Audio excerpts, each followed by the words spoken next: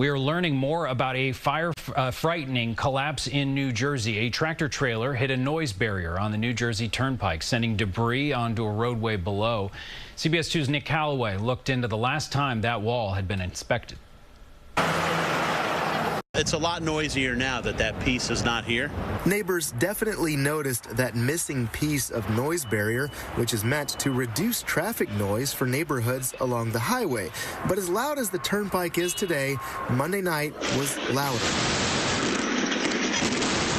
It sounded like a big explosion at first. We didn't really know what was going on. It was around 8 p.m. Monday when state police say that wall was hit by a tractor trailer heading south on the turnpike. The wall came crashing down on Elizabeth Avenue below. You can see people standing across the street, including this woman holding a child running for safety.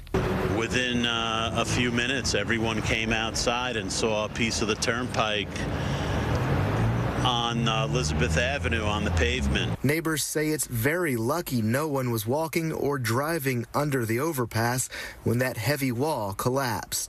Thank you, God, nothing happened. If I could have been walking to the local corner store, luckily no one got injured. Officials with the Turnpike Authority say these noise barriers and this section of roadway are inspected every other year.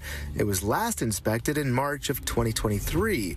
Officials say no issues were noted. Highway engineers will continue assessing the damage here to determine when new noise barriers can be installed.